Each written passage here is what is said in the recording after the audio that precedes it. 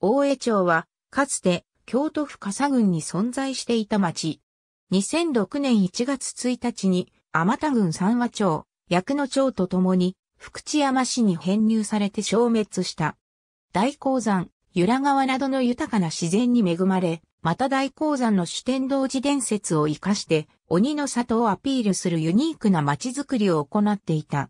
北は舞鶴市と接し、東は綾部市、西は福知山市と接している。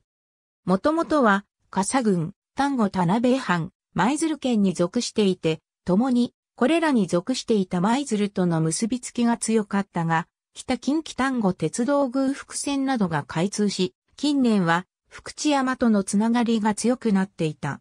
町内を由良川が流れ、町のシンボルとして鬼伝説もある大鉱山がそびえる。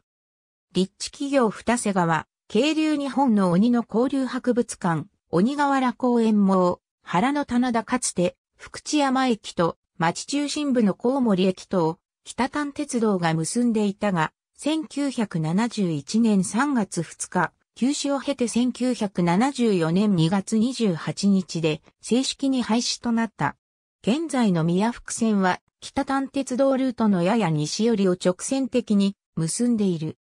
なお、鉄道路線宮福線と宮津線は福知山市に合併後の2015年4月1日に第3セクターの北近畿タンゴ鉄道より列車の運行、乗車券等の販売等の事業をウィラートレインズが経営する京都丹後鉄道へと譲渡し、ウィラートレインズが第二種鉄道事業者として鉄道運行事業を行っている。北近畿丹後鉄道は同日以降、鉄道施設を保有する第三種鉄道事業者となった。日本の棚田百選に選ばれた盲言の棚田では、毎年棚田農業体験ツアーや棚田オーナー制度を設けていた。ありがとうございます。